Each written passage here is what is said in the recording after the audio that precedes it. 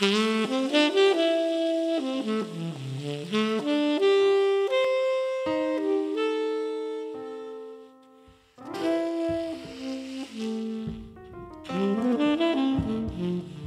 tardes a, todas y a todos y bienvenidas a este primer encuentro de creadores a escena en el que, bueno, desde la obra de cine de la Universidad de Valencia y con la colaboración de, Rafa Maluenda, vamos a proponer mm, algunos, algunos jueves de aquí a, final de año, bueno, pues diferentes encuentros con autores y autoras del audiovisual. Y bueno, pues tenemos la gran suerte de empezar hoy con Pilar Palomero, que, ha sido uno de, los nombres estrella de este año 2020, que aparte de todas las cosas que ha traído, pues bueno, también está trayendo cosas muy interesantes. Y de la mano de Pilar, pues bueno, hemos tenido el estreno de Las Niñas, que, entre otros muchos galardones se alzó con la Biznaga de Oro a Mejor Película en este pasado festival eh, de Málaga. Así que bueno, pues me encantaría ahora que, que tanto Pilar como, como Rafa aparezcan en, vuestras pantallas y, dar inicio a, esta charla. Os recuerdo que tenéis que tener eh, el resto del público, tanto los micrófonos como las cámaras desactivados. En el chat que tenemos aquí a, la derecha podéis incluir las preguntas que queráis hacerles y bueno, a lo largo de la charla eh, os daremos paso para, hacer esas preguntas. Así que nada, espero que lo disfrutéis tanto como, como nosotros en la preparación de este encuentro. Y nada, aquí os dejo. Hola, buenas tardes. Eh, y muchas gracias a todos por eh, estar ahí acompañándonos y espero que participando después incluso.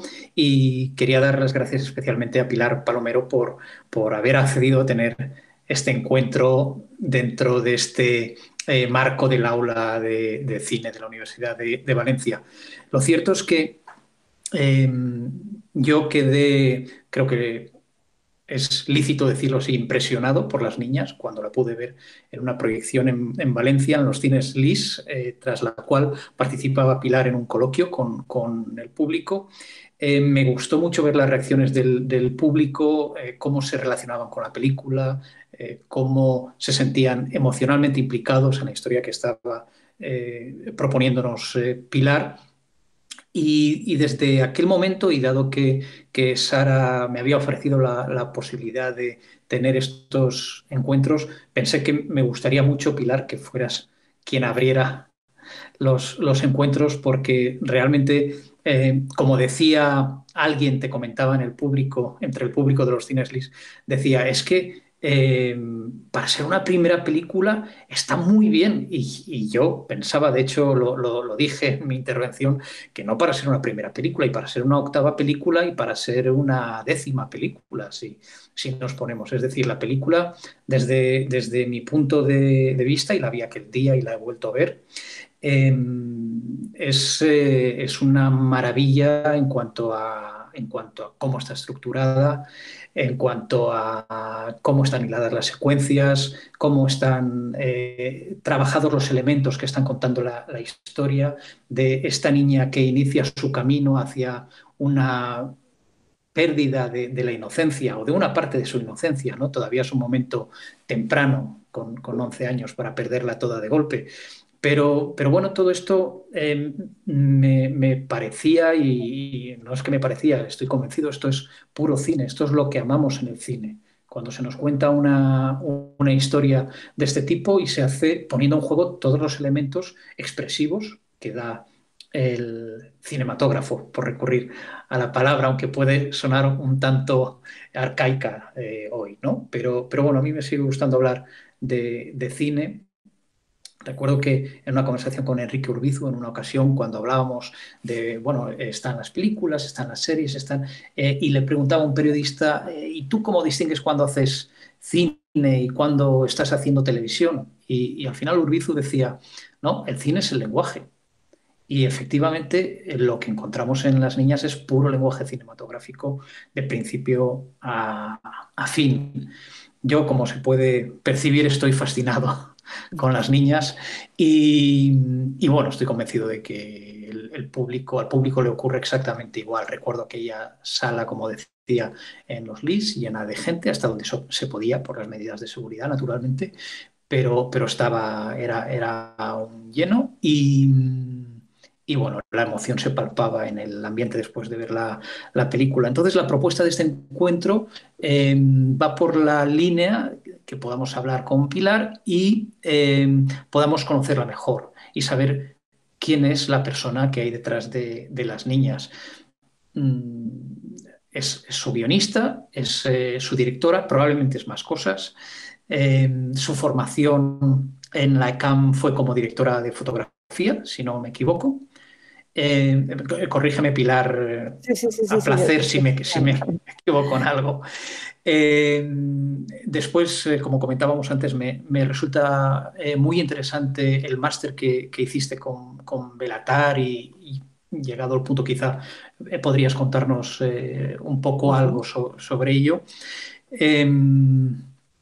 no sé, si, el encuentro con él implica un punto de inflexión en tu concepción del cine o, no, pero bueno, luego podremos eh, entrar en, ello. O, ya mismo, si quieres, eh, no sé si quieres empezar diciendo tú algo y, pasamos a hablar de todo esto y de la película.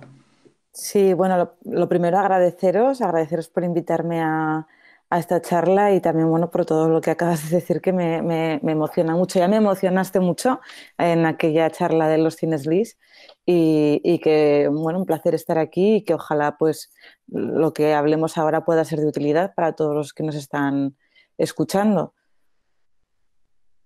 Yo estoy convencido porque la película me parece modélica y, y tu trayectoria, lo poco que conozco hasta, hasta el momento, pero podremos abundar en, ello, em, me resulta muy interesante eh, también.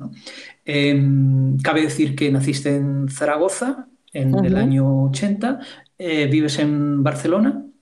Sí, ahora mismo estoy en Barcelona. Y, mm, bueno, aunque la pregunta pueda sonar un poco atópica, pero me resulta muy interesante. Eh, ¿cómo, vas descubriendo eh, que existe el cine y que tú quieres formar parte de, todo ello, eh, contando historias? Hmm. La verdad es que no, no, lo sé, no, tengo, no, hay un momento concreto en el, que, en el que me diera cuenta. Sí que es verdad que desde pequeñita me ha gustado mucho escribir y que, pues bueno, muchas veces en lugar de atender en clase estaba escribiendo mis, mis novelas, mis cómics y, mm, me contaba, o sea, me gustaba mucho contar historias y, yo pensaba que quería ser escritora ¿no? y, estudié filología hispánica primero por, por, esta cosa que había también y que hay de la mentalidad de, de, de tener tu, tu título universitario fue una maravilla de carrera también, ¿no? Pues eh, por, poder em, eh, conocer pues, eh, la, literatura española y, y, bueno, y ahí poco a poco, pues a mí me gustaba mucho el cine, veía muchas películas, no tenía en mi entorno nadie que me introdujera de manera especial al cine ni nada, pero era una atracción que yo sentía. Y bueno, yo creo que si hay algo así como un momento clave, fue que em, eh, en el año 2002, Vigas Luna organizó unos talleres en Zaragoza eh, y me presenté. Había que presentar una estrella de tres minutos, un, un, guion de tres minutos. Y, bueno, nos seleccionaron a un grupo de, no sé si éramos 16 personas, y, y, ahí empecé a darme cuenta, pues que, quería contar historias, pero a través de, las imágenes. Y de hecho, por eso estudié dirección de fotografía, ¿no? Sí, sí, sí, sí. ¿Y qué edad podías tener en ese momento? Pues tenía, estaba estudiando la carrera, estaba, pues tendría unos... La carrera. Sí, tendría ya, ya, estaba acabando, tendría unos 22 años. Em, de hecho, yo empecé bueno, claro, si tenemos en cuenta que lo normal es empezar a estudiar cine ya, pues, bueno, en el instituto o incluso ya empezar directamente a los de 18 años, eh, yo empecé a estudiar cine eh, ya casi con 23, 24. Primero me, eh, me licencié en Filología Hispánica, eh, hice un curso también en la Universidad de Jaca, que lo dio, lo impartió Ignacio Martínez de Pisón y David Trueba. Entonces, bueno, a través de estos pequeños cursos y de, esta experiencia con Vigas Luna, em, ahí poco a poco fui decidiendo, pero todavía no era, o sea, no, decidí que quería ser directora, ¿no? De hecho, mm, mm. mi primer planteamiento fue, fue ese, ¿no? El de la imagen, el de centrarme en cómo contar historias con las, con las imágenes. Martínez de Pisón, que acabas eh, de, mencionar, además de novelista, es guionista de cine también, o lo ha sido en, ocasiones. Eh, y, supongo que el encuentro con él y con David tendría que ver con, eh, con alguna de las películas em, en, la que, en que participaron ambos, o, hmm. no, o venía cada uno por un lado. Sí, era un curso que organizaba la Universidad de Verano de, Zaragoza, en Jaca. Y mm, era un curso de tres días. De hecho, este fue el primer curso que hice jamás de, sobre cine. Y, era sobre adaptación cinematográfica.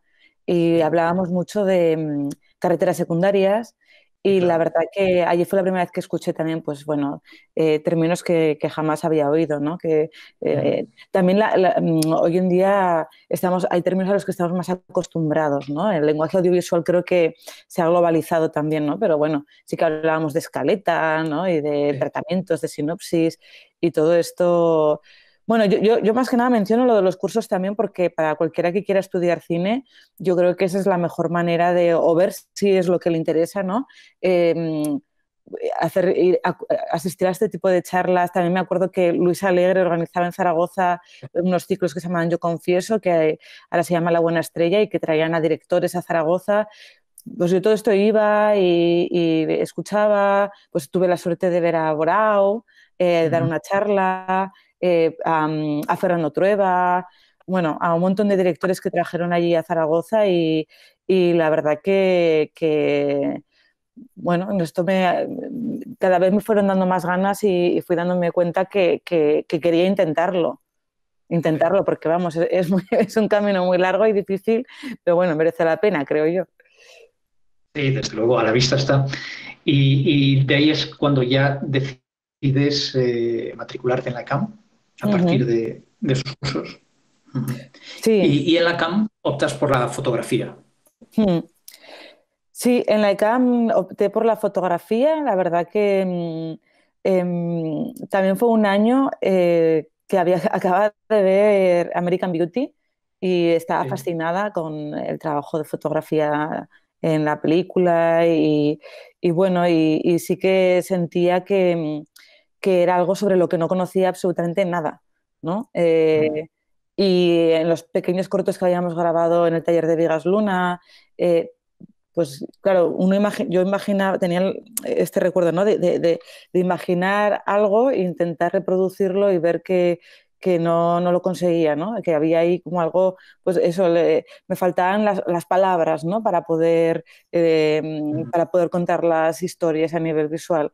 Y, y empecé allí en la ICAM, que la verdad que nada, eh, yo, o sea, lo bueno que tiene la ICAM que, que en una misma clase, bueno, en esos momentos, porque hacía muchos años, eh, en la misma clase estábamos gente de, con muchos niveles, ¿no? O sea, de, de, experiencia. Y yo, yo, llegué con muy poquito, ¿no? De, experiencia, no había estado nunca en un, en un rodaje profesional y, y, para mí la ICAM fue fue eso, sobre todo el rodar, rodar, rodar y, rodar, porque hay, hay, hay muchísimos cortometrajes y, yo me apuntaba a todos, desde, sobre todo de eléctrico, de auxiliar, y también es otra cosa que recomiendo a cualquiera que quiera estudiar y hacer cine, meterse en todos los rodajes que puedan, ¿no? De, para mirar, para ver qué se aprende, es como más se aprende, yo creo.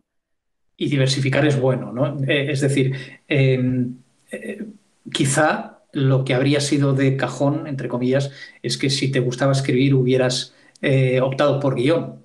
Sin embargo, mm, teniendo ya esa parte eh, cubierta, tu ambición, en el mejor de los sentidos, te lleva a abrazar el, lado en el que sientes que tienes una, carencia por esa experiencia que, que, que contaba, que bueno, pues al final las imágenes no acababan en aquellas primeras experiencias de reflejar lo que tú querías Hmm.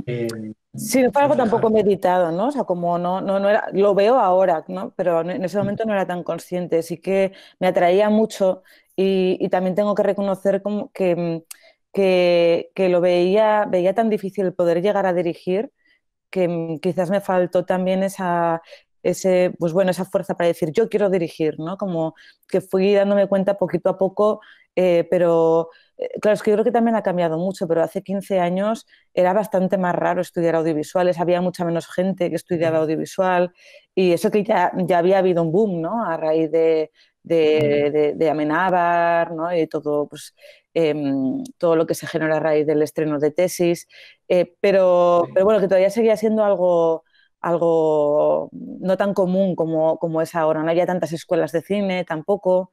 Que bueno, parece que estoy hablando hace 40 años, que son hace, es hace 15 años, pero bueno, sí que, sí que hay un cambio, ¿no? Sí que, sí que hay un cambio importante. Sí, sí. Y entonces terminas eh, en, en, la CAM y eh, ¿cómo, ¿cómo, es la conexión con Sarajevo? ¿Cómo eh, decides hmm. irte allí y hacerlo del máster de, Sí. Bueno, eso es muchísimo más tarde. A Sarajevo fui, porque yo, terminé en la ICAM en el 2006. Soy de la novena promoción. Y entonces yo estudié fotografía eh, y a la vez que estudié fotografía es cierto que eh, dirigí mi primer corto, eh, que se llama Sonrisas, y mm, que fue una experiencia durísima, la verdad que muy, muy, muy, muy traumática. Y, mm, pero bueno, pero fue bien luego a nivel de festivales, era cuando pues, había diferencias todavía en los festivales de cine o vídeo. Y ahí poco a poco pues ya me picó el gusanillo, hice algún otro, eh, algún otro corto, de Niño Balcón. Pero bueno, yo básicamente estaba trabajando ya en, en, en, el equipo de cámara, en, sobre todo en publicidad y, y en videoclips. Trabajaba de, de videoasis, de auxiliar. ¿Y qué ocurrió? Pues que me tocó de lleno la crisis de 2007-2008 ¿no? Y, sí que fue un momento en el que, bueno, el sector audiovisual se, eh, se notó mucho, fue devastador, sí, totalmente. Y, y, bueno, me surgió la posibilidad de regresar a Zaragoza, eh, porque yo esto, estaba viviendo en Madrid, allí comencé a trabajar de, de, guionista de programas en Aragón Televisión y de profesora en la Universidad de San Jorge. Y bueno, cosas de la vida, pues yo ah, eh, admiraba, admiro mucho a, Belatar, al director eh, húngaro, y un alumno me comentó un día eh, que, estaba, o sea, que había visto que Belatar iba a abrir un, un programa de doctorado y que había que, que, enviar una inscripción.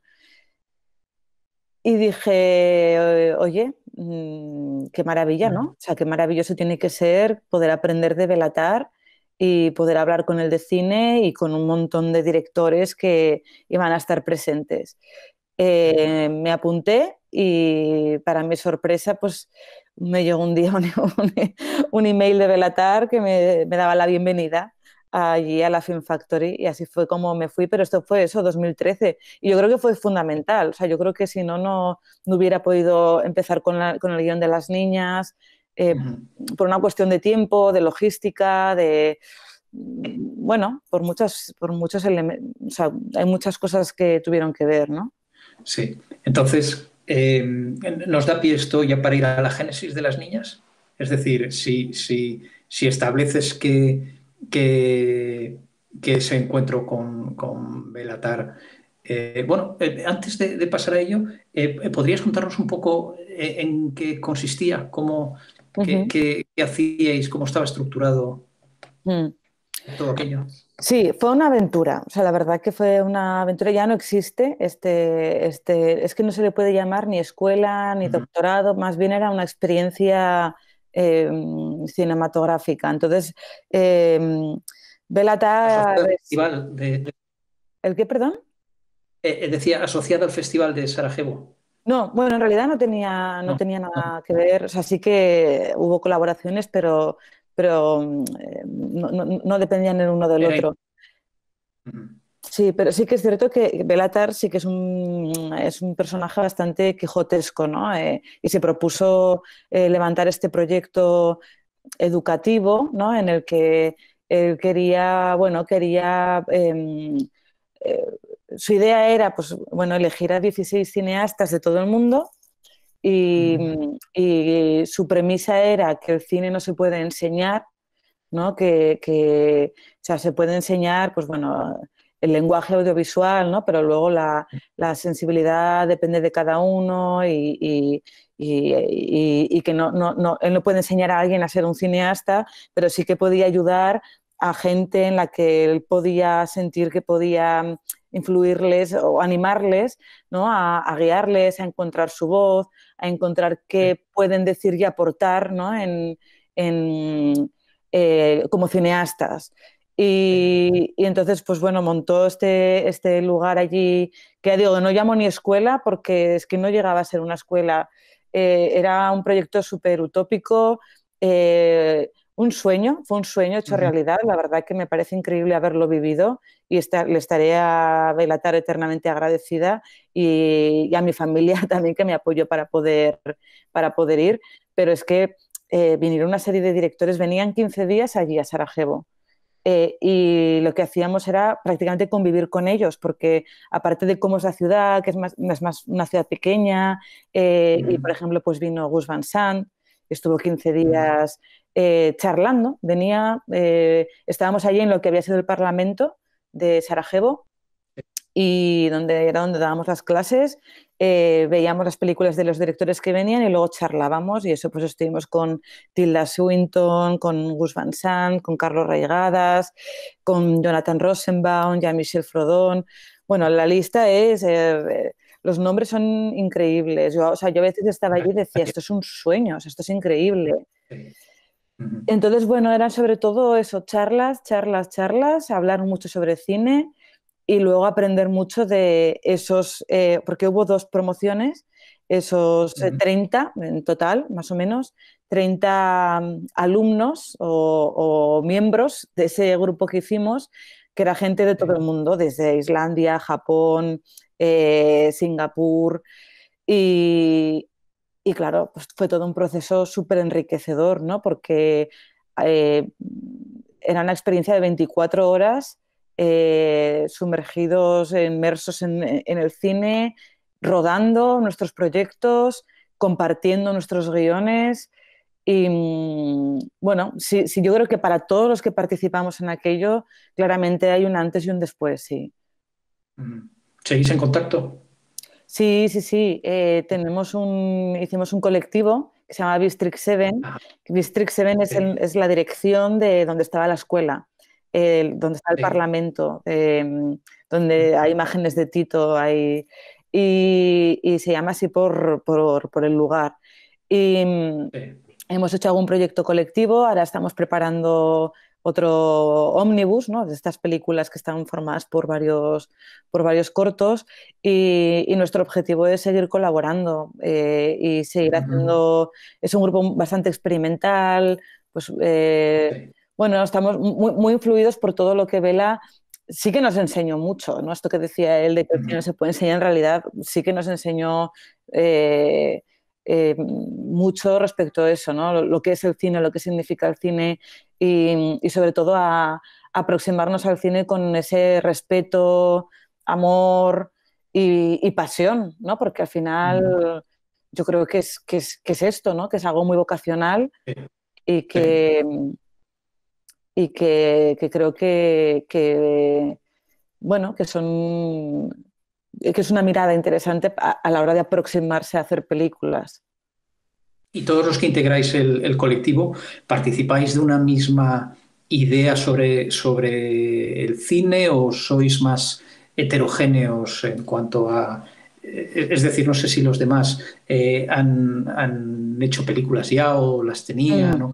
y, si mm, el tipo de cine que hacéis eh, eh, confluye de alguna manera o, no, o realmente confluís para las experiencias comunes, pero luego eh, cada cual lleva una orientación distinta con respecto al tipo hmm. de, películas que hace. No, yo sí, es cierto que somos bastante heterogéneos. Sí que em, tenemos gustos bastante distintos, ¿no? luego se crean pues, conexiones más, más, particulares, ¿no? Y sobre todo que hemos aprendido muchos los unos de los otros. O sea, yo, yo me siento profundamente influida por muchos de mis, de mis compañeros de los que, pues, eh, pues de repente que me, me, mostraran la película de un director, ¿no? O, directora y que me influyera de manera, de manera especial, ¿no? Y, y esto ha ocurrido mucho. Em, compartimos algunos rasgos, pero, pero bueno, sí, sí que creo que entre todos hay un cierto, creo que nos gusta mucho un ritmo, pues bueno, que sí que es un poquito más, em, más próximo al cine de Belatar, ¿no?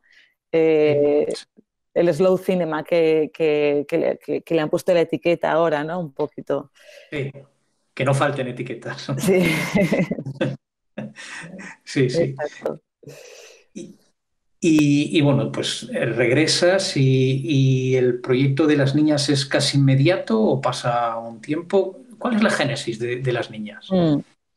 Bueno, la, génesis eh, es un proyecto que yo tenía en la cabeza desde hacía muchos años. Y yo, mm. eh, bueno, lo he contado, lo, hablamos el día del Cine Lis, lo he contado también en varias entrevistas, que todo, el, momento concreto en el que podríamos decir que nació fue cuando yo me encontré aquí el cuaderno de religión, ¿no? en el que estaba esta redacción que aparece en la película, pero, pero bueno, sí que es algo, era la idea de hacer una película sobre mi educación y cómo sentía yo que había sido aquel año, eh, en 92 o principios de los 90, y los mensajes tan contradictorios y extraños que, que, yo y otras personas de mi generación habíamos recibido, era algo pues, que llevaba dándole vueltas muchísimo tiempo. De hecho, uno de los primeros recuerdos que tengo de estar ahí en Sarajevo es de estar con, dos compañeros em, explicándoles que yo quería hacer esta idea.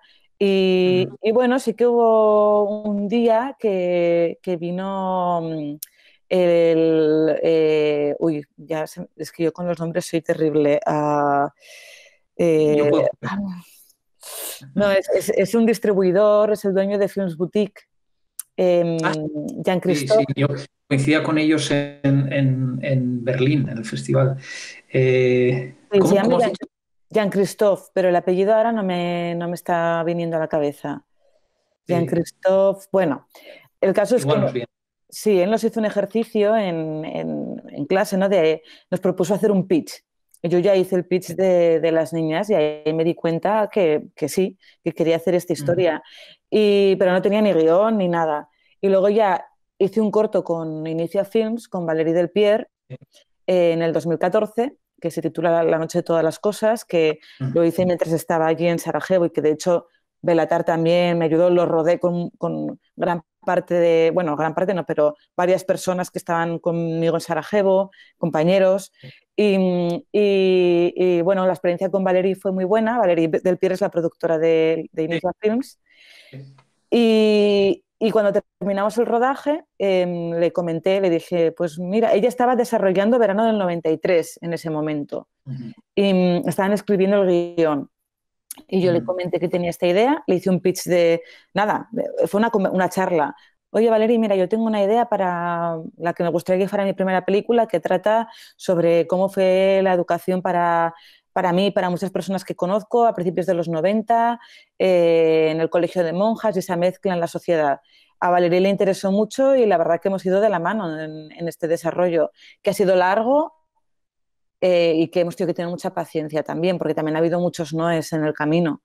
Y, y, bueno, eh, pero así fue como nació, ¿no? Sí que he tenido la suerte que, bueno, la suerte, que yo ya conocía a Valerie porque ya habíamos trabajado en el corto, eh, y que no fui con un guion a una productora, sino que, lo fuimos desarrollando juntas poco a poco. Sí. ¿Y, iniciáis rodaje cuándo? El rodaje se inició en julio de 2019, hace un año y tres meses.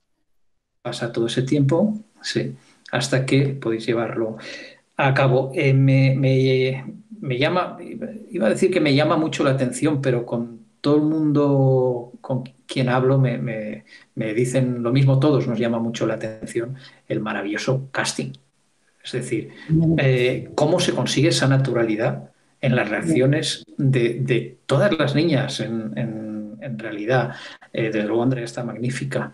Eh, pero luego, cada reacción es lo que nos está dando eh, ese, esa atmósfera de, veracidad, que estamos asistiendo casi documentalmente a esos encuentros entre, entre las niñas donde están jugando, donde están hablando de sus cosas, donde están poniendo música, me parece casi inverosímil, pero, pero es magnífico. Bueno, y las monjas también están fenomenal. Mm. Bueno, Natalia de Molina, por supuesto y, todo el mundo. Es que eh, el, casting, creo que hay una parte eh, del, casting que construye el personaje con los tipos, es decir, con la elección de, la fisonomía de, cada una de las actrices.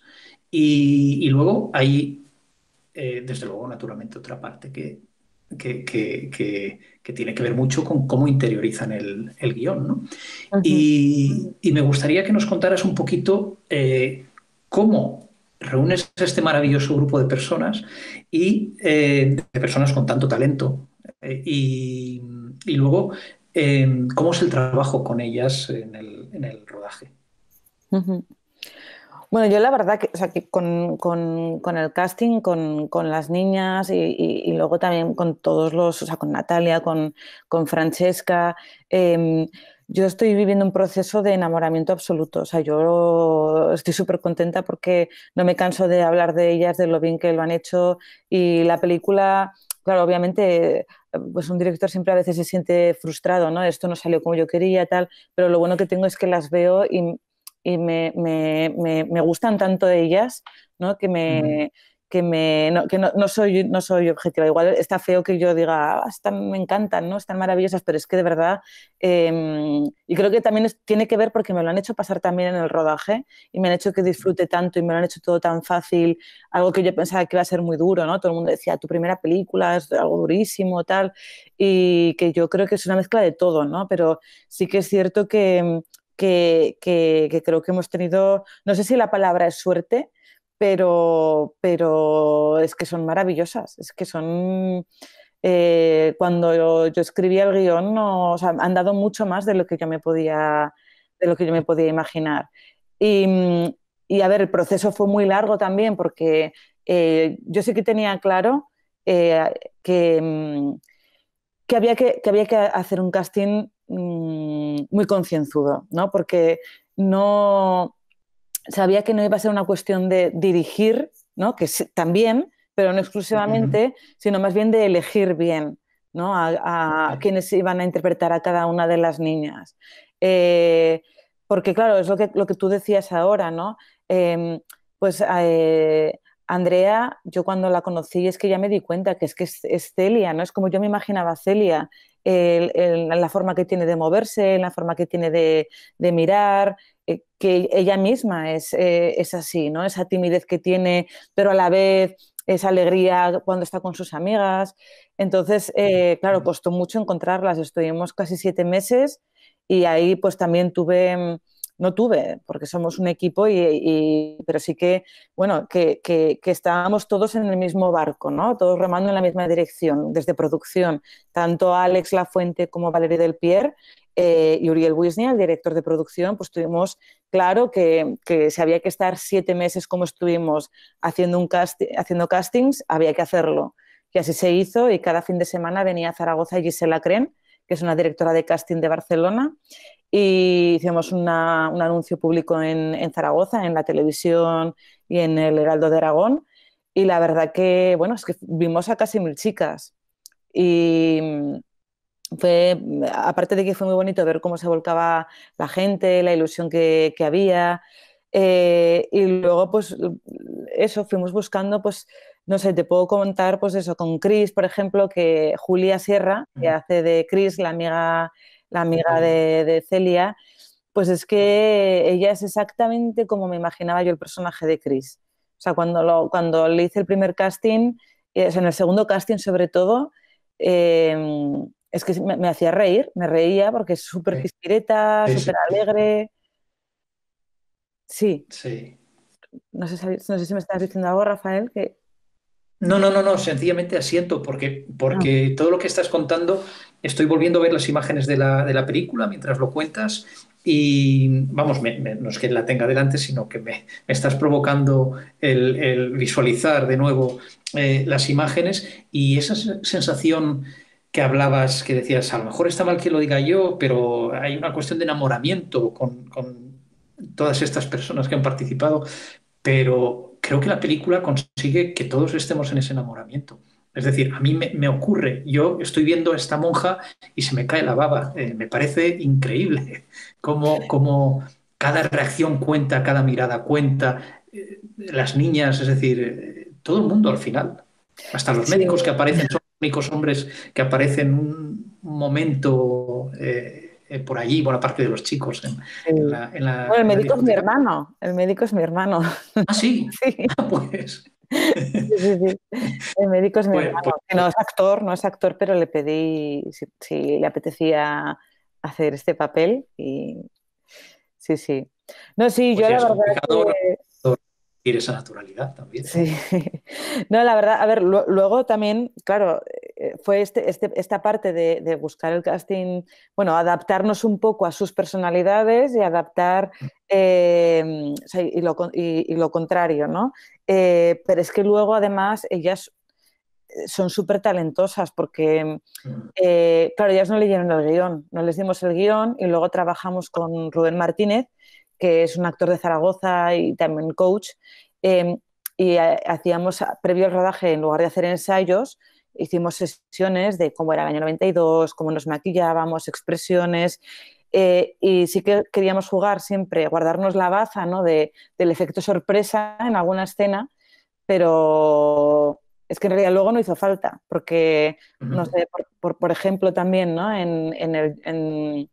Eh, bueno, claro, no, que no quiero hacer spoilers de la peli, por si acaso hay alguien que no la ha visto, pero bueno, que sí que teníamos la suerte que que ellas tienen, son muy talentosas y, aunque no sabían lo que estaba sucediendo, improvisábamos, las íbamos guiando, pero en el momento en el que había que repetir, eran capaces de repetirlo con la misma frescura como si fuera la primera vez que lo estuvieran haciendo.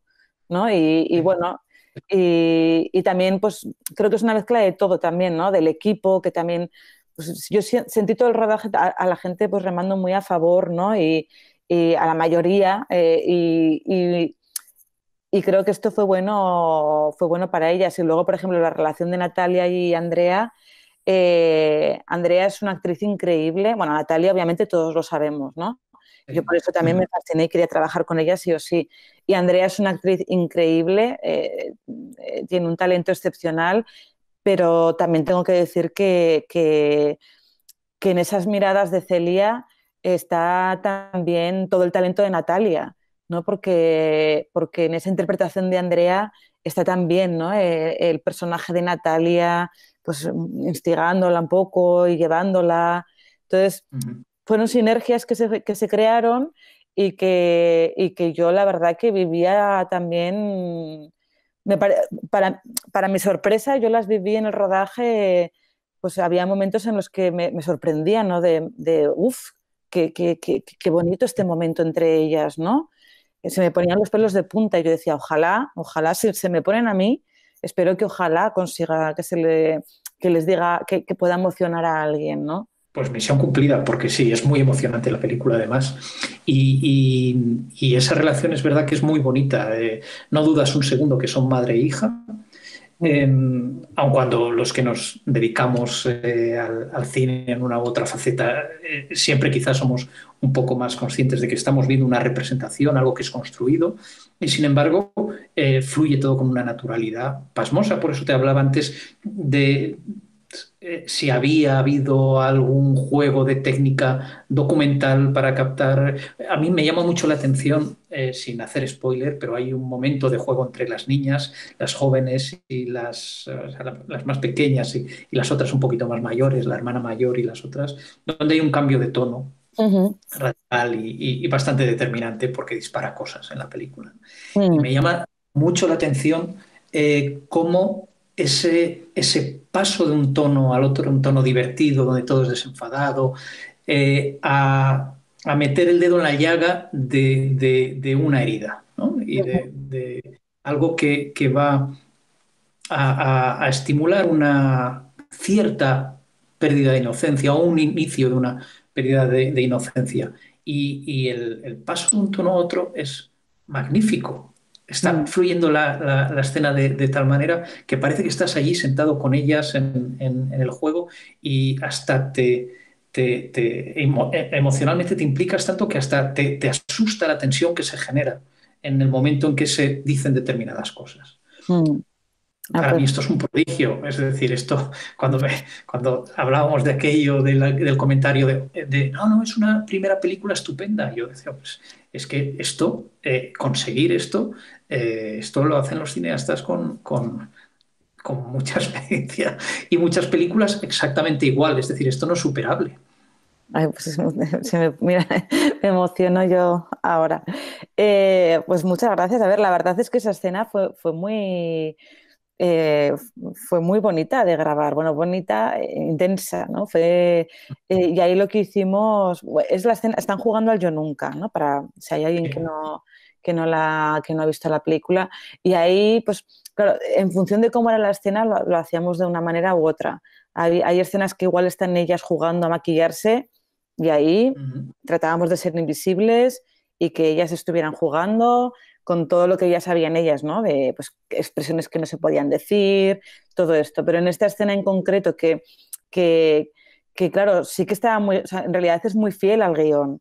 ¿No? Eh, aunque la improvisamos, la aproximación respecto al acting fue de, una improvisación, pero había que llegar a, a, unas frases concretas de diálogo porque, porque bueno, contaban cosas importantes para que la trama fuera avanzando, ¿no? Para, para que siguiera, eh, para, bueno, comenzar la historia de, de, Celia.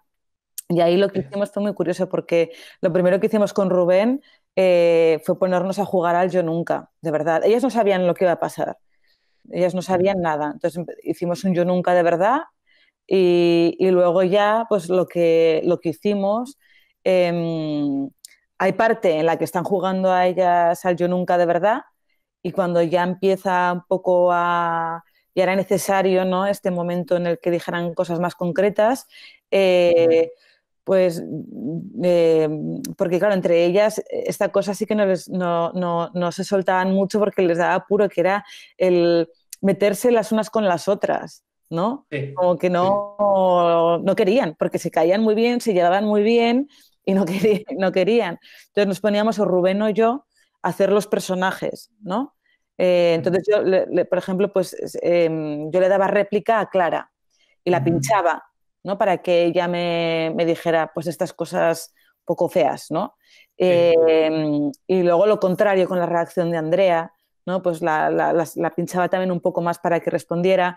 Pero bueno, dicho esto, lo que te comentaba antes, que el efecto sorpresa duraba la primera toma y luego ellas continuaban, mantenían el tono eh, totalmente, ¿no? Y, aportaban más. Por ejemplo, Julia ahí, que es un, bueno, que está Chris, ¿no? Que es la que media un poquito entre esa situación tensa, pues bueno, eh, defendía su personaje, ¿no? Como mediadora y ella por eso siempre digo que aunque sea su primera peli, son, son actrices totalmente, porque se, sí, se, modula, se, les, podía modular ¿no? las emociones de, insiste más aquí o, y, bueno, fue muy fue muy, muy intenso eso, hubo lágrimas por parte de, todo, de todas, yo incluida, eh, pero bonitas, ¿eh? de, Sí, sí, sí, sí, de la emoción de, haber logrado captar al final eh, esos momentos tan bellos que te construye una película como esta, ¿no?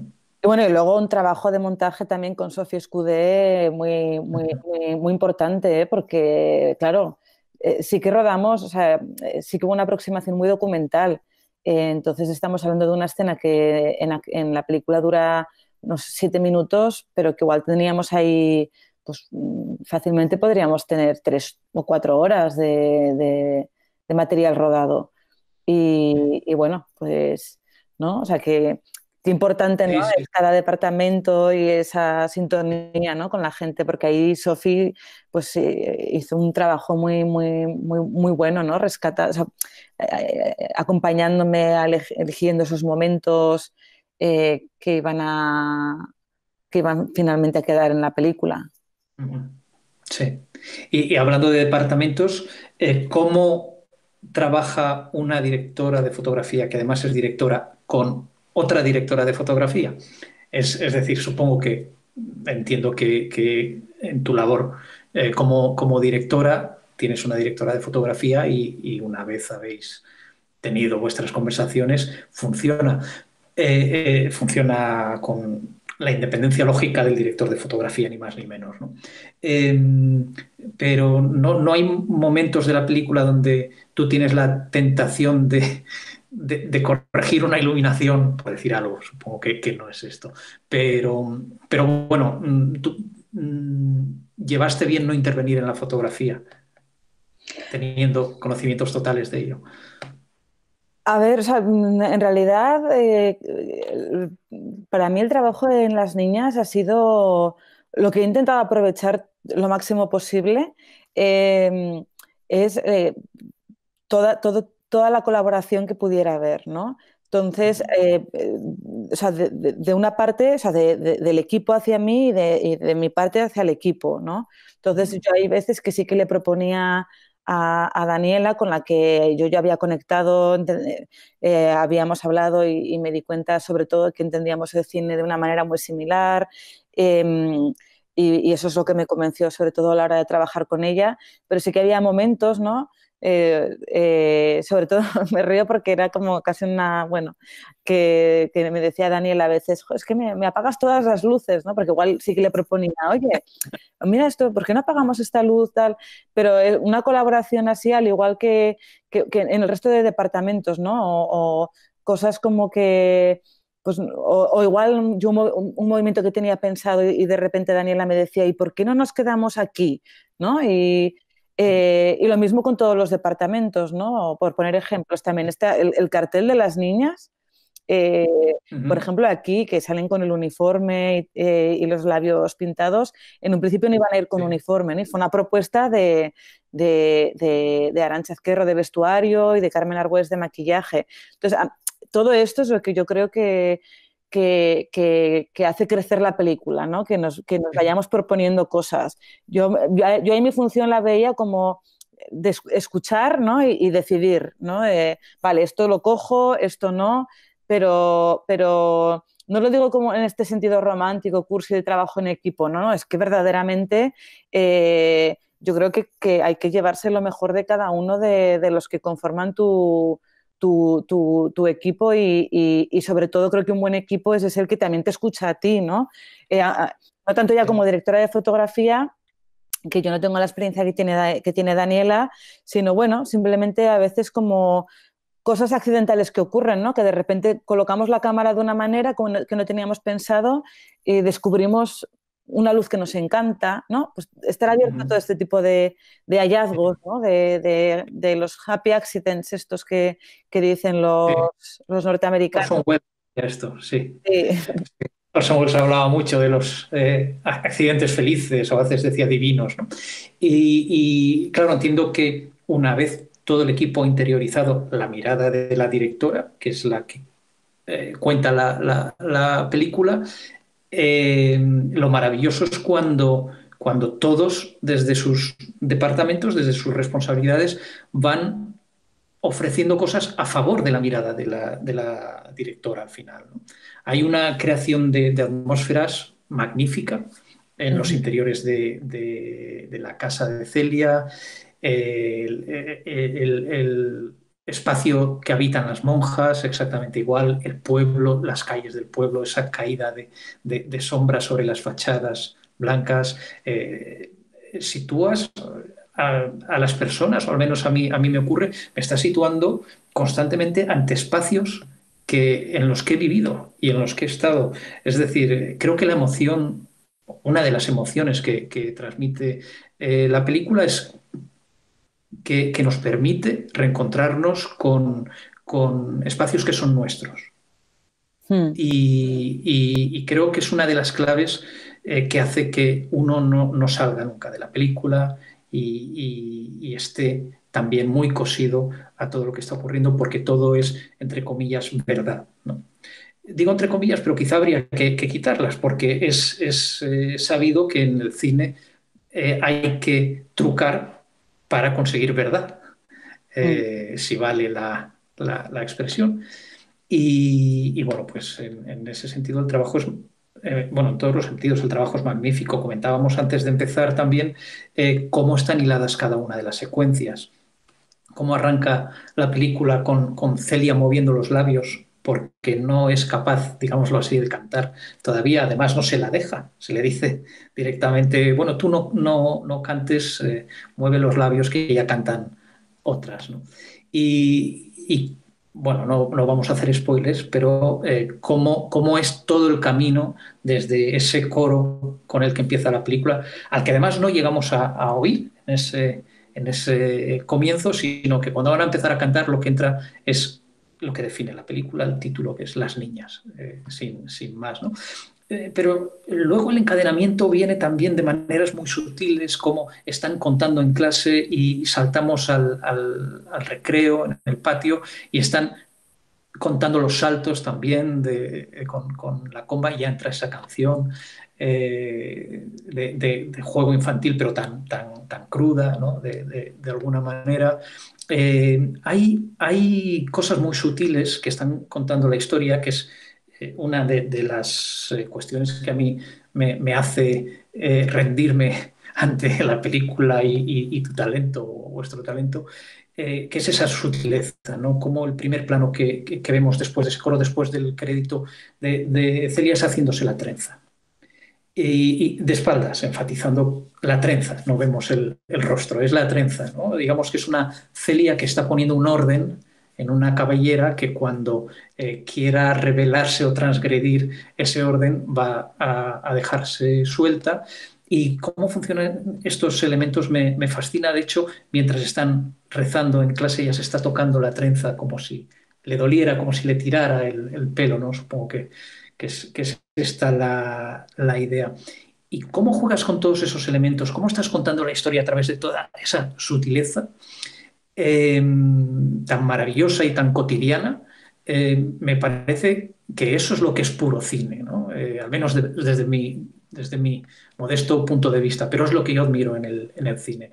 Cómo no hay que verbalizar las cosas, sino hay que hacer que el espectador las, las eh, sienta. Sé que esto no es una pregunta, pero no me resisto a contártelo porque me emociona cada vez que las dos veces que he visto ya la película y me seguirá emocionando, ya lo sé, las veces que, la vuelva a ver, porque pienso seguir haciéndolo naturalmente, porque es un goce continuo. Y, bueno, pues eh, eh, no sé si, esa idea del cine, ese tipo de cine, eh, te influye de alguna manera Belatar o ya estaba en ti antes. Eh, no sé si quieres apuntar algo sobre esto para que no se canse los que nos estén escuchando de oírme a mí. No, yo, bueno, cosas que,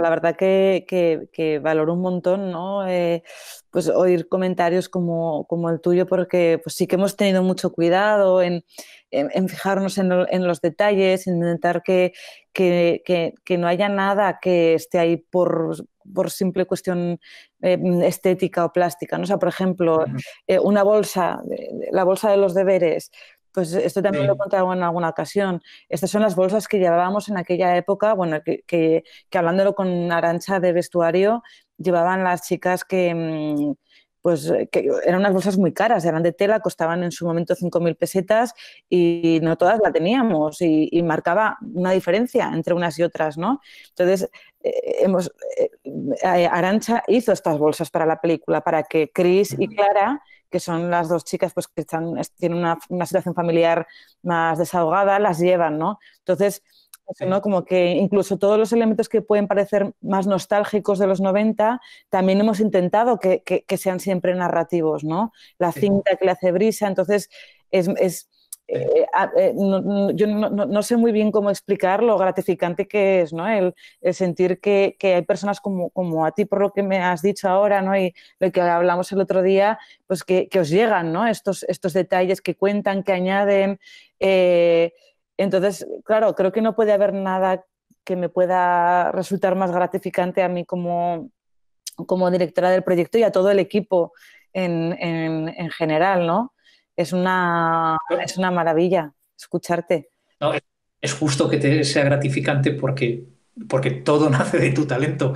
En mi caso es muy gratificante y no he hecho nada. Es decir, sencillamente he disfrutado de, la película. Entonces, para mí sí que es un regalo. Para ti es el, resultado de, tu trabajo o de, vuestro trabajo. Con lo que decía del, orden y de los números y de las matemáticas, eh, eh, me llama la atención que, que, cuando eh, la, madre, la monja, reprende a, Celia es con números también.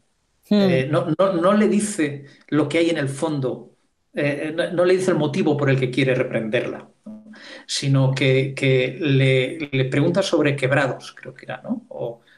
Mm. no, recuerdo qué era exactamente, pero, es una reacción un tanto agresiva a través de los números y de las matemáticas. Y, eso me sugiere una idea eso, de, un, orden, unos eh, números, unas oraciones, cuando las hay. Yo creo que las oraciones tienen otra función distinta del número, ¿no? Son menos frías y ahí yo creo que hay una fluctuación con, otros eh, temas porque creo que explícitamente eh, tú ni, niegas ni afirmas en, ese, en ese aspecto, ¿no? Sencillamente es algo que se da y que está y que pertenece al orden de, la fe, ¿no? Y, es, otra, es, es, otra cuestión, pero sí lo de las matemáticas me, llamaba mucho la atención, a lo mejor porque yo nunca fui bueno en matemáticas. tiene que ver con, No lo sé, yo la verdad que no, no, he sido, no he sido, mira, este es, hay otra parte que me resulta muy interesante y es que, muchas veces pues, me estoy encontrando con, cosas que están y que yo no era totalmente consciente. Y lo que me comentas ahora, lo de los números, es cierto. Y, no sé, estoy pensando, mi madre es eh, ahora está jubilada, pero fue toda la vida profesora de matemáticas. Igual tiene algo que ver, no lo sé. Pero no reñía con números, ¿no? No, pero sí que es verdad que mi madre, o sea, que yo era terrible en matemáticas y, pues bueno, eh, era muy frustrante, ¿no? El decir, eh, claro, ojalá esto se, pudiera heredar, ¿no? Mi madre es profesora, le encantan las matemáticas, pero nada, yo no había manera. Y, bueno, sí que es verdad que responde pues a ese mundo más ordenado, ¿no? En el que, pues, no, todo, pues... Eh, en el que todo tiene, tiene ya una respuesta un, poco o sea, ya, prefijada y que de repente pues Celia cuestiona. Em, y, sí, sí que, pues e, e, en ese caso en concreto de los números no he sido tan consciente, pero sí que ha habido como muchas cositas que sí que, también porque eran así, ¿no? Y porque yo las recordaba así y, porque las había hablado ya con mucha gente de mi entorno.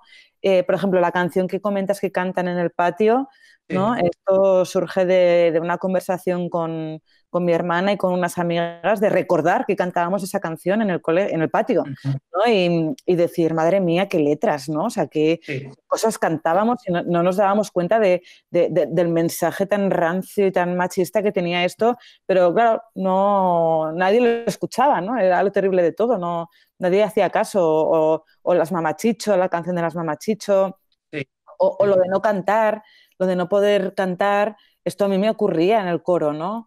No, me traumatizó, pero bueno, sí que, me, sí que yo lo recordaba ya de mayor y, bueno, ya eran las compañeras de, mi colegio, lo recordamos y por lo visto es, algo muy habitual, lo de que no nos ha ocurrido a muchos, lo de que no nos deja, solo nos hicieran mover los labios y, y bueno, como son cosas que, las traje directamente de, los, de mis recuerdos y de los recuerdos de la gente de mi entorno, em, pues ya partíamos igual con, pues con, eso a favor, ¿no? Que, eran recuerdos muy concretos y, llevados muy al detalle, ¿no? Ese detalle concreto de que no te dejan cantar, que, tienes que mover los labios para aparentar.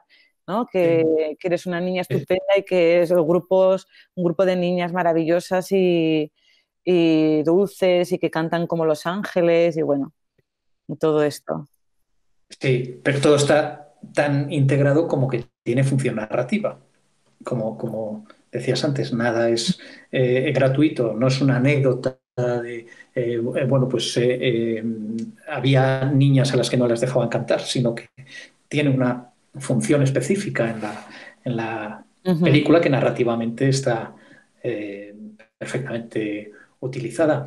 Hay, hay, algo, yo recuerdo mucho eh, ese año 92, concretamente si nos movemos en torno al, al 92, eh, yo entonces debía tener 24, creo.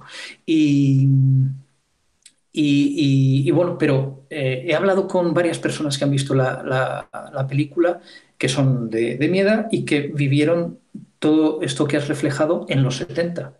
Entonces todos coincidimos en que, en que realmente eh, parece que los 90 eran como los 70. En los 70 había otras cosas que, llegaban. No eran los preservativos, no, no, eran las mamachicho, no eran esa confluencia de, mensajes contradictorios, como decías. Había otros, porque efectivamente yo creo que el, colegio de monjas es exactamente igual que era en, los 70.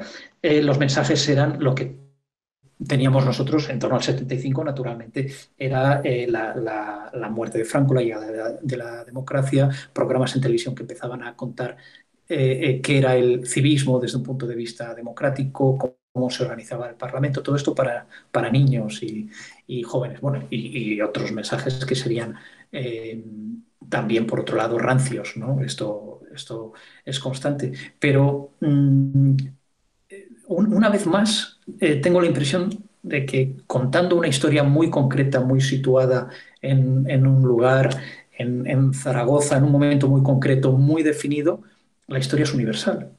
Es, decir, al final eh, todos nos sentimos Celia.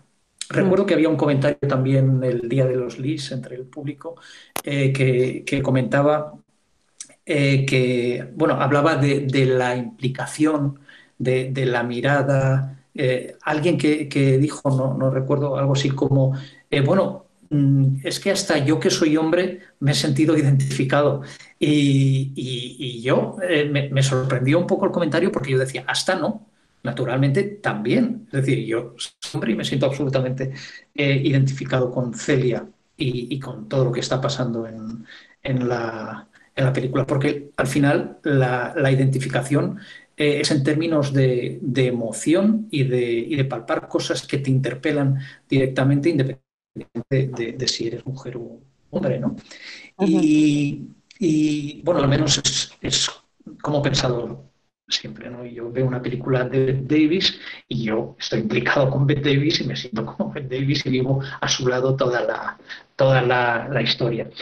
Y, bueno, pero venía a decir esto porque eh, pienso que, el gran valor de esta historia y por lo que eh, me atrevo, y yo nunca me he metido ahorita, pero, pero me, atrevo a pensar que, a, decir, a expresar aquí en un público que estamos ante un clásico con, con el tiempo, es ese. Estoy convencido de que por, por, por por el amor que se ha puesto en contar esta historia y, por, por hecho de manera puramente cinematográfica, em, va a seguir interpelando generación tras generación, no importa lo que cambie la sociedad que la esté percibiendo, porque hay algo que está en el, en el interior del ser humano y que la película toca, y que eso es inmutable. Por eso los clásicos son clásicos. Por eso eh, una, una tragedia griega nos sigue tocando, o una comedia.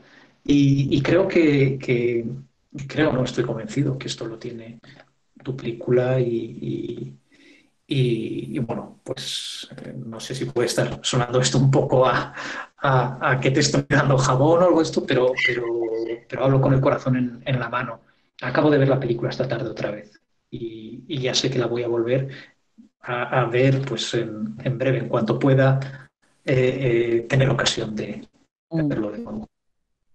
Pues muchas gracias por, lo que, por lo que comentas. Yo la verdad que, hay una cosa que sí que le he puesto mucho, mucho empeño en la película y, es también que, todo lo que tenía que ver con la emoción, ¿no? Eh, más allá del colegio de monjas del año 92, ¿no? Más allá de todo esto que para mí es el contexto, eh, eh, claro, lo importante y, un poco lo que ha sido siempre el faro ¿no? en, en todo el proceso ha sido la emoción y el viaje interior que hace, que hace Celia y que yo quería colocarlo, y esto siempre lo tuvimos también muy claro, ¿no? En ese momento de la preadolescencia en el que, en el que empiezas a, eh, bueno, la primera vez en la que algo tan sencillo como ir a hacer los deberes a casa de tu amiga o que te coloquen a alguien nuevo en, eh, a tu lado en el pupitre, pues hace que tengas un clic, ¿no? Un clic que te despierte, no que te cambie, que una persona te cambie o que un día te cambie, porque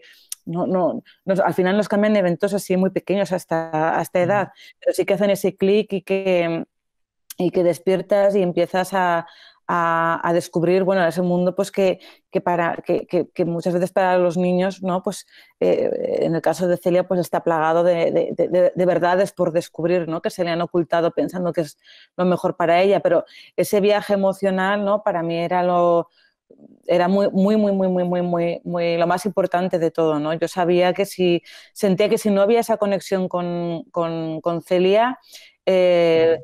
para mí la película no, o sea, no hubiera hecho una ficción, ¿no? Hubiera elegido igual otro formato o hubiera escrito un ensayo ¿no? sobre cómo había sido mi experiencia en el año 92, creciendo, eh, pero sí que tenía ganas eso de, poder eh, conectar con, las personas que vieran la película a este nivel, que ellos pudieran volver a su infancia a recordar estos momentos, y a, y, a, recordar la adolescencia como de verdad es, ¿no? Eh, esos, eh, pues, eh, esos, esos, momentos llenos de dudas, de miedos, de, de, de, euforia, que creo que sigue siendo igual ahora y hace 30 años.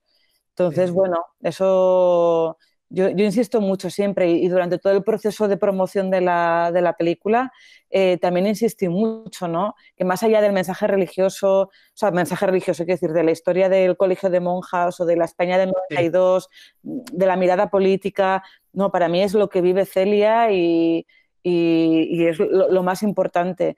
Porque, bueno, yo como espectadora conecto con los personajes de las películas, ¿no? En, y, también, y, no, sean hombres, sean mujeres, al final conectas con las vivencias y, el espíritu de,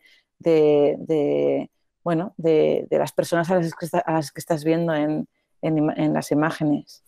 Sí, la verdad es que eh, al final eso, eh, la, propia vivencia de, Celia no deja de estar influida por, por el entorno político, social, religioso, eh, y, pero al final creo que es inmutable, ¿no? Que aunque que es inmutable la vivencia de Celia, es decir, esa vivencia se va a seguir dando en todos los niños de, de 11 o 12, eh, depende del, momento, aun cuando los inputs sociales, religiosos o políticos puedan, puedan variar, pero, pero la duda, el aprendizaje, el descubrir, el, secreto, eh, eh, la herida, el secreto familiar, todo esto eh, va con el ser humano, ¿no? Supongo, y, mm. creo que ahí es donde mm. está fantásticamente el dedo puesto en la, en la, llaga. En todo lo demás también, porque ya digo, eh, eh, recuerdo aquella época bien, yo era bastante más mayor que tú,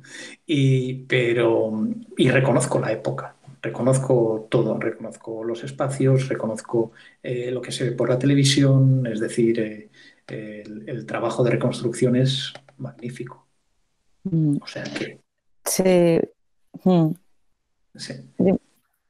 No, no, eh, eh, no sé, estamos, eh, quizás Sara quiera empezar a pasarnos preguntas. Pues yo creo que tenéis a, a, todos los, los, escuchantes embobadas porque, bueno, la charla es que está siendo un gustazo. No sé si alguien de lo que está escuchando quiere lanzar alguna pregunta, aprovechando que tenéis aquí a, Pilar y, bueno, y a Rafa, por supuesto. Tenéis disponible. Sobre todo a Pilar, que es la única. Si alguien se anima a escribir alguna pregunta por el chat y yo, mientras la gente se, se empieza a animar, y para que tampoco sea excesivamente larga la, la jornada, sí que quería, Pilar, un poco que, nos contaras en el momento en el que está ahora, tanto la distribución de la película, recordamos que todavía está en cines, con lo cual quien no la haya visto, quien la quiera volver a ver, tiene disponible la cartera todavía para hacerlo. Y bueno, en este camino, de lo que queda de año, de cada año que viene, eh, qué tienes por delante con, las niñas y si estás preparando algún otro proyecto. Hmm. Sí, sí que estamos con otro proyecto ya eh, y también ha sido una cuestión bastante, bueno, azarosa porque eh, nosotros volvíamos de Berlín, de la película, todo, preparar la película, conseguir la financiación, todo esto nos llevó bastante tiempo, eh, pero luego sí que, sí que es verdad que terminábamos de rodar a finales de agosto y en, en febrero ya la presentamos en Berlín. Pero nada más volver de Berlín, a los 15 días nos confinaron. Y yo ya tenía una idea que me había propuesto Valerie del, Pierre, porque la, la, experiencia con las niñas, eh, o sea, con la película, con Valerie del Pierre y Alex Lafuente eh, de B-Team ha sido muy buena y decidimos que queríamos repetir. Y teníamos una idea eh, muy, bueno, muy, muy, vaga en ese momento, pero bueno, durante el confinamiento nos pusimos a tope ¿no? con, con esta versión y, no, no, lo teníamos en el calendario, pero a día, pues, eh, el confinamiento hizo que a, que, a, día de hoy tengamos ya esa primera versión. Y, y, si todo va bien, esperamos poder rodarlo pues de aquí a un año, o sea, en un año o, una cosa así. Es una película que se llama La Maternal, es un título provisional. Y, y, bueno, pues repito, repito eso con Valerie y con, con Alex de, de Bitim. Y ahí estamos, ahí estamos dándole forma al guion. Nos pregunta Aurora García que cómo fue la financiación, el proceso de financiación para las niñas, cómo, cómo fue el camino. Mm, fue duro, fue duro, porque, mm, a ver, aquí es muy curioso, porque yo, yo contabilizo, si no me equivoco, que fue una, como unos tres años en total, tres, cuatro años de desarrollo. Y es verdad que hay gente que me dice que es muy poco, porque igual una película puede estar desarrollándose diez años, no, no escribiendo el guion, ¿eh? sino ya en proceso de, desarrollo y de armado de, producción, etc. Eh, y, bueno, sí que, sí que fue, fue difícil convencer a las instituciones que, que nos apoyaran. Y, pues lo que te comentaba antes, hubo muchos noes por el camino y, hubo momentos también muy frustrantes de incluso casi plantearnos o plantearme yo si, pues qué hacer, ¿no? Si vamos a hacer la película, momentos en los que pensé que igual no se iba, no se iba a hacer. Y por eso también yo creo que, que hay que tener muy claro siempre que se quiere hacer una... ¿Por qué se quiere hacer la película? ¿no? Porque yo creo que, que puede ser tan frustrante y tan difícil que, si no se tiene muy claro esto, mm, yo creo que mm, el cuerpo no, bueno, la mente en concreto no, no, no la aguanta. Y, y, luego, bueno, que poco a poco, pues, eh, pues vas armando, eh, eh, fueron entrando primero, los primeros en entrar fueron Aragón Televisión, nuestro primer apoyo, y, y ahí, pues pasito a pasito, eh, pues ya nos fueron apoyando. Yo me imagino que también tiene que ser difícil, ¿no? El, decidir apoyar a alguien pues, que va a ser su primera película, que no sabe si va a funcionar o no. Bueno, son muchos, muchos elementos, ¿no? Muchos proyectos que se presentan. Pero vamos, sí. No sé, si, no, no, sé si igual estoy dando una respuesta como demasiado genérica. No sé si es algo más específico de la financiación lo que quiere saber. No, no sé el nombre de quien está preguntando. Aurora. Aurora. Comenta ayudas o subvenciones. Ah, bueno, pues ayudas. Eh, hoy en día, para, producir un largometraje, eh, pues hacen falta las ayudas estatales, que son las del ICA, eh, las del Instituto de Cinematografía, luego las propias que haya en cada comunidad autónoma, pues las que, por ejemplo, en el Gobierno de Aragón también hay unas ayudas específicas en la producción cinematográfica, en Cataluña también, y luego mm, para armar esas patas de, la mesa de la financiación también es imprescindible eh, hoy día que entre una televisión. Eh, en nuestro caso fue Televisión Española, que nos apoyó, y, luego, pues bueno, tenemos eso, la participación de... esto, lo, explicaría muchísimo mejor Valería o Alex, eh, em, pero bueno, sí que las ayudas que nosotros recibimos fueron del, del ICA, del ICEC, eh, del Gobierno de Aragón, Aragón Televisión, em, Movistar Plus y Televisión Española. si no me equivoco. Tenemos varios eh, eh, estudiantes de guion conectados, pero yo creo que son, son, son tímidos. Entonces, eh, sí que es cierto que, bueno, que cualquier historia, en este caso las niñas sobre todo, parte de, evidentemente de, una inquietud, muchas veces personal, como has comentado, otras veces, bueno, circunstancial. Em, sí que me gustaría que les lanzaras muy brevemente también como una recomendación a estos estudiantes que están empezando a plantearse un guion, que quieren escribir un corto o ir más allá. Eh, ¿qué, sería tu consejo estrella para, para ellos? Hmm. Si se puede resumir tanto. Sí, yo, bueno, yo primero también creo que depende de qué tipo de cineastas o directores eh, o guionistas quieran ser, ¿no? Em, si, quieren ser, eh, no sé, dedicarse a un tipo de cine más... Eh, bueno, es que odio lo de las etiquetas yo, ¿eh? pero para entendernos sí que hay que utilizar a veces ciertas palabras, ¿no? Pero pues si, si lo que quieren es trabajar, hacer proyectos que igual no sean tan personales, sino pues guionizar los proyectos de otros o, los productos de otros, ¿no? una serie más mainstream, o si son proyectos de estos que nacen de dentro ¿no? y, que, que uno se, bueno, necesita, eh, necesita hacerlos y, siente esa urgencia por comunicarlos. Yo creo que ahí, claro, lo fundamental está en, no hacer nada que, por hacer, ¿no? Nada por decir, porque quiero hacer una película, porque quiero estar en un festival, porque quiero eh, que nos cojan aquí o allá, o yo creo que ahí es donde, donde no tiene ningún sentido y es un desgaste psicológico grande y no, no, no, no, no merece la pena, ¿no? Creo que sí que tiene que ser algo muy vocacional, que yo entiendo que ya la gente que está estudiando esto es porque es, es algo ya vocacional, ¿no? Em, entonces, preguntarse hasta, hasta qué punto ¿no? es, es em, va, a existir ese grado eh, de, implicación personal o va a ser más un trabajo. ¿no? Que, las dos cosas son perfectamente legítimas, ¿no? pero, pero eso yo creo que sí que es bueno preguntárselo. Y, y, luego, bueno, otro consejo que yo daría, que no tiene que ver con la pregunta que me has hecho, pero que eh, viene a colación por algo que hemos hablado antes y que yo lo veo muy útil, que tiene que ver con la financiación. Y es que yo sentí que fue, fue súper útil a la hora de armar el proyecto, darle un poquito más de peso de cara a las subvenciones eh, y darle más consistencia, fue presentarnos a laboratorios de guion y a, y a foros de coproducción.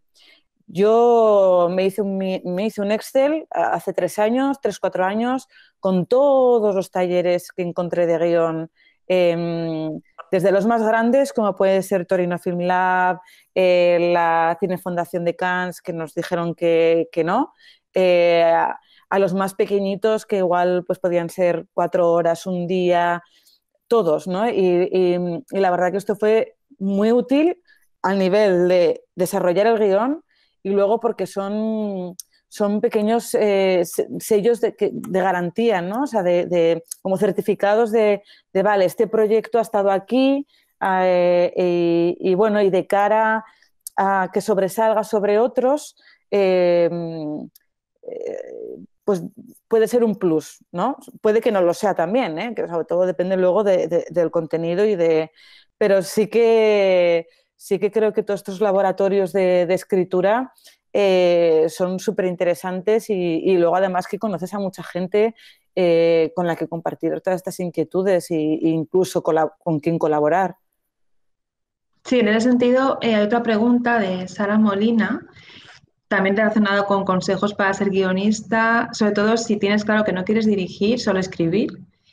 ¿Cómo es importante contactar con otros perfiles? Entiendo que, se referirá a contactar con perfiles más técnicos, de dirección, si es interesante o no a la hora de plantear un proyecto cuando tú no vas a ser quien lo, quien lo dirija. No sé si has visto en esa experiencia también y puedes hacer alguna recomendación.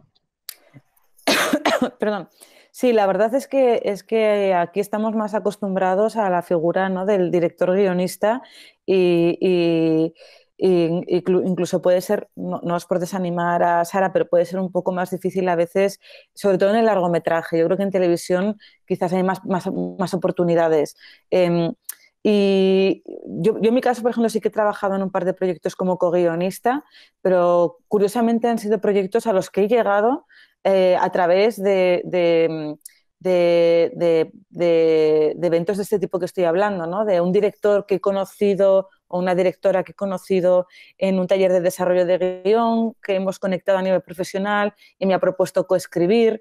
¿no? Por eso yo, yo siempre creo que estar activo y estar conociendo gente, eso siempre nos va, como eh, lo he dicho antes, ¿no? en la ECAM, de meterse en todos los cortos posibles.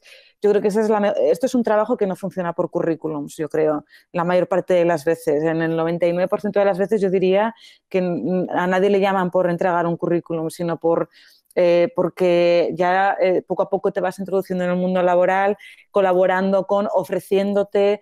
Em, entonces, por eso creo que es tan importante participar en todo este tipo de, cosas que, nombro. Y, luego, bueno, yo creo que, em, pues sobre todo, a ver, la pregunta, ¿qué me recomiendas en este caso? Contacto con gente de otros perfiles. Es que yo creo que esta palabra también que ahora se utiliza tanto, que está tan de moda, la de networking, yo creo que es, que es esencial. Yo, por ejemplo, recomendaría a Sara que intentara, si es que no lo ha hecho ya, eh, buscar todos los programas que haya, em, como por ejemplo el Script Station de Berlinale Talents, ¿no? Eh, que son programas que, que, es verdad que son muy competitivos, que es muy difícil que te seleccionen, pero seleccionan cada año a 20, o ahora no me acuerdo, 15, 20 personas y y que sirven precisamente, o sea, el único fin que tienen estos programas es poner en contacto a los profesionales de los diferentes eh, sectores, ¿no? O sea, o equipos, a directores de fotografía con directores, a directores con guionistas, a actores con directores. Eh, y está pues este de Berlinale, eh, aquí en Cataluña pues tenemos a Donas Visuals, Cima Mentoring, es otro programa que, que existe. Em, está la incubadora de la ECAM, está las residencias de la academia, eh, hay muchísima, muchísimos programas, muchísima oferta. Eh, lo único que es eso, que hay que trabajar mucho, ¿no? Para, hay que presentar un tratamiento, un guion y ser muy perseverante porque de verdad, para un sí, antes recibes 20 noes. Igual me estoy quedando corta. Pero yo creo que es el mejor camino, el participar en, estos, en este tipo de talleres. Muchas gracias, Pilar. Pues bueno, no sé si llevamos ya una hora y media. y, no sé si, queréis comentar algo, Rafa y Pilar, para, para cerrar, recuerdo a los que nos escuchan que, bueno, que en, pocos días subiremos esta charla completa a YouTube, así que podéis revisarla y aprovechar todos los consejos, la experiencia que ha comentado Pilar para, para ponernos todos al día. Yo me quedo con, con, esta última reflexión tuya, Pilar, que es, bueno, hay que insistir, hay que perseverar y, y tampoco desanimarse ante los noes, que probablemente sean muchos, pero bueno, si tienes el camino claro, seguro que, en, un momento dado vas a llegar a, la meta o al inicio de otro camino. Yo lo reconozco que hay muchos noes y que a veces es muy frustrante porque has trabajado muchísimo y, aparte también, o sea, no lo digo desde la queja, ¿eh? sino pues para, para, reflejar cómo es la realidad, que muchas veces también eh, pues eh, es lo decíais a el COISET, ¿no? que hacer cine también a veces es un acto de fe porque estás dos, tres años dedicándole tu vida y tu trabajo haciendo una apuesta profesional por un proyecto que igual no sale y que, y que se queda en un cajón. ¿no? Y, yo creo que no, no, es para nada, es un pensamiento eh, pesimista, ¿eh? sino al revés, como que, que un solo no no nos haga venirnos abajo, pues que habrá no es, pero luego lo que importa es que haya un sí. ¿no? y que ese sí lo, lo, utilicemos bien. Y bueno, y recomiendo a la gente, hay, hay, una página web de Europe Creative mm, Desk, creo que es la página web, que incluso tiene un listado de todos los programas de formación de los que estoy hablando. ¿Vale? Pero lo digo porque es que esto es, o sea, yo de verdad que lo veo súper útil para conocer gente, eh, perdón, para conocer gente, para, para, bueno, para conocer gente, el networking del que hablaba y para empezar, ¿no? Hay otro también otro programa de Masa para, para guiones de cortometraje. Vamos, que creo que esa es la... Que lo de enviar currículums también se podía hacer, pero creo que creo que no, no, no, no es tan útil.